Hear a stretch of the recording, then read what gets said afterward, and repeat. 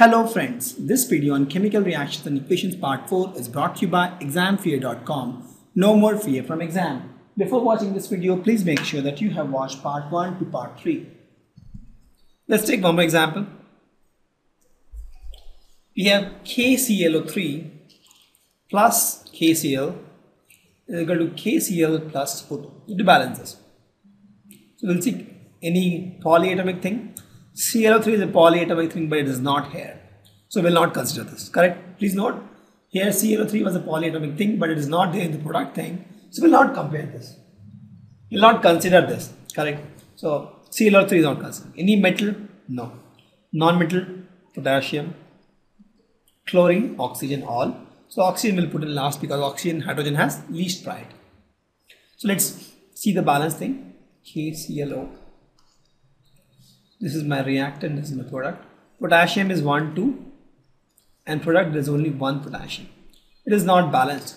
Let's multiply this guy with 2 so what you get is KClO3 plus KCl is equal to 2 KCl plus O2 now let's again see if it is balanced or not. KClO potassium is 2 here.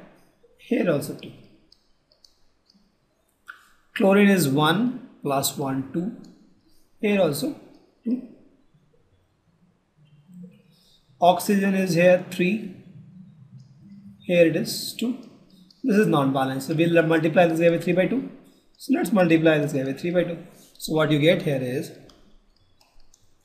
KClO3 plus KCl is equal to 2 KCl plus 3 by 2 O2 let's see if it is balanced now. KClO potassium is 2 here. Product also 2 chlorine is 1 plus 1 2 here. Product also 2 2 KCl right? So 2 chlorine. Oxygen is 3 here. Here also 3 by 2 into 2 3 so it is balanced but there is a fraction part right? So you remove the fraction part it was it is by 2 you multiply everything into 2 so what you get is 2 KCl O3 this becomes 2 plus 2 KCl is equal to 2 into 2 becomes 4 KCl plus 3 O2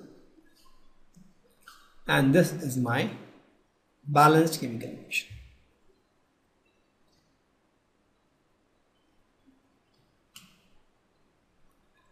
We'll take one more example. I'm taking more equations because more example because the most critical part of the chemical equation. You should know how to balance the chemical equation. As the foundation of the chemistry you can say. So we have HNO3 plus COOH2 it gives CaNO3 2 plus H2 this is one chemical equation. Even if you don't know about this compounds are, it's okay. You should just know how to balance the chemical reactions. So yes balance this so here we have some compound is there any compound yes NO3 NO3 so this guy is there in both reaction and product so we'll take NO3 as the first priority then we'll take uh, metals, no, non-metals, we have calcium. And then we have hydrogen, oxygen, so we'll say hydrogen, oxygen, right? So now we'll check, this is, the, this is the my priority order, right? Priority order. We'll check NO3 part, reactant and product. So my reactant has one NO3, product has two, it is not balanced. So we'll multiply this guy with 2 so what you get is 2 H NO3 plus COH2 is equal to C NO3 2 plus H2.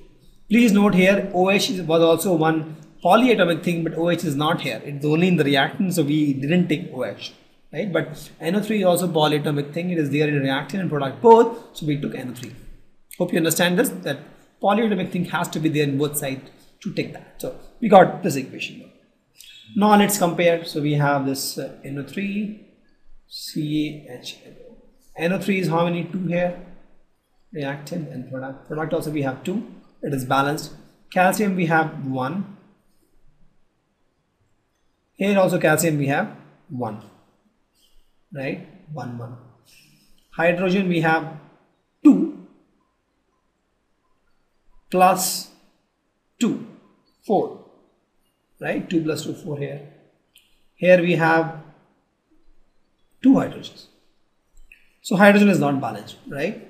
See, this part you can't take, this part is again gone. So two hydrogen here plus this again we can take because this here we have not assumed as a polyatomic thing because this was not there in the product side, right? So we'll take two hydrogen from here, 2 plus 2, 4 hydrogens. Here we have two hydrogen. Please pay attention here. Since OH was a polyatomic thing here, but still we could not take this as one unit because this guy is only in reactant, not in product. So when we talk about hydrogen, we'll take hydrogen from this also, right? So hydrogen 2 plus 2, 4 here and we have only 2 hydrogen here. Not balanced, we multiply this guy by 2. So what you get is 2H NO3 plus CaOH2 gives CaNO3 2 plus 2H2. Now let's check if it is balanced or not. We have NO3CHO, we have reactant, then we have. Reactant NO3 is here is 2 molecule. In product we have NO3 2, 2. Calcium we have 1 here and we have 1 here, 1 1. Hydrogen we have 2 plus 2 4 here. And here we have 2 oxygen. So please note we'll not take this oxygen because this is already counted as part of NO3 We'll not take oxygen in this also because this is already counted as part of NO3 but we'll take this oxygen. Why? Because this OH we have not considered as a uh, you can say polyatomic thing in the priority list because the product didn't have this OH so we'll take OH O from here but we'll not take O from here please note once again we'll not take oxygen from NO3 now We'll not consider that because it's already counted for but we'll take O from this because OH is not counted for, right? OH we didn't consider because OH was not there in the product side. So, so for oxygen we have two oxygen here and here we have again two oxygen because this oxygen we won't count, we'll count only this oxygen. So we'll see that things are balanced, right? So this is my balanced equation. Hope you understand this. The trick was here was this in this the oxygen we won't count because we have already counted as oxygen but we'll take oxygen from this guy OH because we didn't count the OH let's take few more examples we have NOH sodium hydroxide plus H2SO4 sulfuric acid give Na2SO4 sodium sulfate and water so we have to uh, balance this equation so we already know the names of these things. We have learned all these things in the past classes. We want to balance this chemical equation. So here also if you see SO4 is one unit here. Here also we have SO4. So that guy is my first priority. Right? And do you have any metals? No. We have sodium, we'll take sodium. Then we'll take hydrogen and oxygen. This is my order of the priority. First we'll try to balance SO4 if it is not balanced. So let's check. So we have this SO4 and the HNO. So this is my reactant, this is my product. In this case, we see that SO4 there is 1 and here also we have 1, 1 and 1. It's perfectly balanced. Then comes sodium. Sodium we have 1 here and 2 here. Oops, it is not balanced. So let's multiply this guy with 2. So the new equation we get is 2NaOH plus H2SO4 is equal to Na2SO4 plus H2. Let's again compare the values SO4, NaHNO. We have reactant and product. So sulfate we have one here, one here, one, one each. Sodium we have two here, two here, two each. Hydrogen. So we have two hydrogens here plus two, four hydrogens here. Here we have only two hydrogens, not balanced.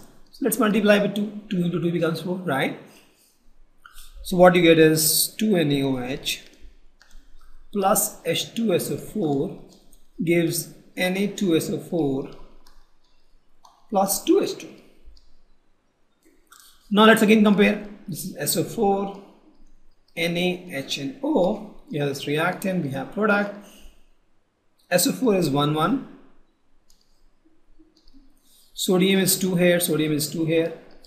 Hydrogen is 2 into 1 2 plus 2 4. Here we have 2 into 2 4. Oxygen gone. So we have 2 oxygen here. This we won't consider because this we already considered as part of SO4. This also we won't consider. So we have only 2 oxygen atoms here. And here also we have 2 oxygen atoms, right? This is my balance chemical equation. Everything is balanced. Correct. We'll take a couple of more examples. NaCl, sodium chloride plus AgNO3, silver nitrate becomes AgCl plus NaNO3.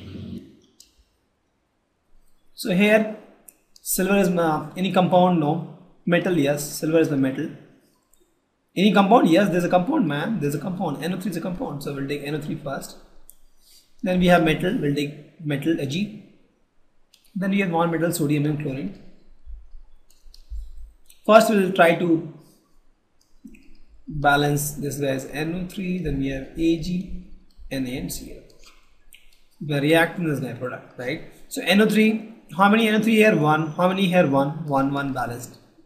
Ag, how many Ag in reactant? 1 in product 1 sodium how many sodium in reactant 1 in product 1 Cl how many Cl in reactant 1 product 1 you see it is balanced it is already balanced there is no need to balance this equation is already balanced equation we don't do anything it's already balanced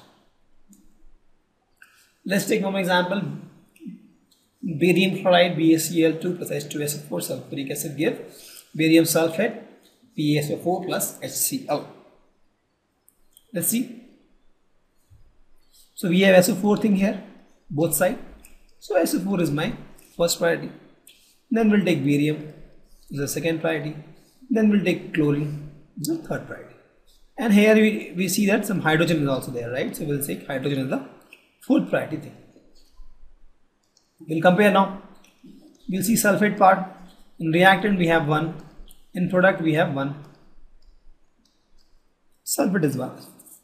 Barium part. Yeah, next is barium. Barium we have one here, one here, balanced. Next is chlorine part. We have two chlorine here. Reactant. In product we have only one chlorine, which is not balanced. Let's multiply with two. Correct? So what you get is now barium chloride plus H2SO4 gives barium sulfate plus 2HC. Now again let's see the balance part SO4, BaCl and H, right? My reactant is my product.